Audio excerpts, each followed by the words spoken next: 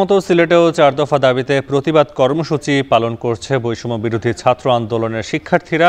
এ বিষয়ে আরও জানাতে সিলেটের কেন্দ্রীয় শহীদ মিনার থেকে যুক্ত হচ্ছেন সহকর্মী গুলজার আহমেদ। গুলজার শিক্ষার্থী কি কি শিক্ষার্থীরা কি কি দাবিতে বিক্ষোভ করছেন বিস্তারিত জানাবেন। আচ্ছা দেখুন, আজকে মূলত বিকেল সাড়ে তিনটা থেকে সিলেটের যে কেন্দ্রীয় শহীদ মিনার আছে, চৌহাট্টায় সেখানে বৈষম্য বিরোধী ছাত্র আন্দোলনের সাথে যারা জড়িত, সে সকল শিক্ষার্থীরা ইতিমধ্যে এখানে সমাবেশ করছেন।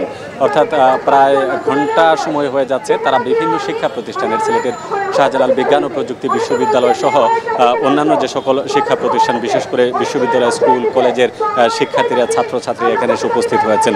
তারা বলছেন যে কেন্দ্রীয় কর্মসূচির অংশ হিসেবে তাদের যে চার দফা ছিল, বিগত এক মাসে তাদের উপর যে দমন নিপীড়ন বা তাদের উপর যে নির্যাতন হয়েছে এবং যে হত্যাকাণ্ড ঘটেছে সেটির আসলে সুষ্ঠু বিচার ব্যবস্থা আসলে গড়ে তোলার দরকার। এবং তারা বলছেন যে এই আন্দোলনের সাথে সম্পৃক্ততাকারী প্রত্যেকটি মানুষ কোনো না কোনোভাবে তারা আসলে আইন শৃঙ্খলা বাহিনীর মুখোমুখি হতে হয়েছে নানা নির্যাতন সহ্য করতে হয়েছে। এইসব বিষয়গুলোকে তারা প্রাধান্য দিচ্ছেন এবং যারা এদের সাথে এই ঘটনার সাথে অতপ্রতভাবে জড়িত আছেন, তদন্ত সাপেক্ষে তাদেরকে দ্রুত বিচারের আওতায় নিয়ে আসার আহ্বান জানাচ্ছেন। পাশাপাশি তারা বলছেন যে তাদের আন্দোলনের যে মূল লক্ষ্য ছিল যে বৈষম্যহীন একটি সমাজ ব্যবস্থা গড়ে তোলা রাষ্ট্রে সেই বিষয়ে তারা কাজ করছেন। সুতরাং এখনও যারা আসলে এই আন্দোলনকে বিভিন্নভাবে প্রশ্নবিদ্ধ করার চেষ্টা করছেন, তারা বলছেন যে এগুলো তথ্য ভুয়া এবং এটা কোনোভাবেই কারও গ্রহণযোগ্য কোনো কথাবার্তা নেই। তারা চাচ্ছেন যে বাংলাদেশের যত শিক্ষার্থী সমাজ আছে, সব শ্রেণি পেশার মানুষ মিলে, শিক্ষার্থী জনতা মিলে রাষ্ট্রকে রাষ্ট্রকে এমন একটা কাঠামোতে তারা দাঁড় করাতে চান, যেখানে সব মানুষ রাষ্ট্রের একজন নাগরিক হিসেবে তার মৌলিক সুবিধাগুলো তারা নিশ্চিত করতে পারবে।